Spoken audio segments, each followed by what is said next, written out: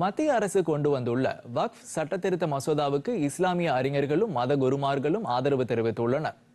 மத்திய சிறுபான்மையினர் நலத்துறை அமைச்சர் கிரண் ரிஜிஜு மற்றும் நாடாளுமன்ற கூட்டுக்குழுவின் தலைவர் ஜெகதாம்பிகா பாலை சந்தித்து பேசிய அவர்கள் இதனை தெரிவித்துள்ளனர். அமைச்சரையும் நாடாளுமன்ற கூட்டுக்குழு தலைவரையும் அஜ்மீர் தர்காவின் தலைவர் சையத் நசுருதீன் சிஷ்டி தலைமையிலான குழுவினர் சந்தித்து பேசினர்.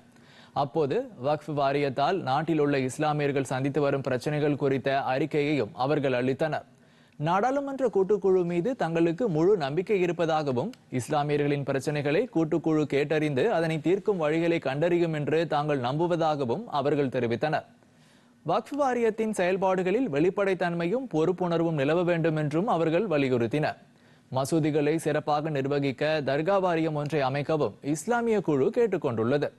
வக்ஃப் சட்டத்திருத்த மசோதாவை மக்களவையில் சிறுபான்மையினர் நலத்துறை அமைச்சர் கிரண் ரிஜிஜு கடந்த ஆகஸ்ட் எட்டாம் தேதி தாக்கல் செய்தார்.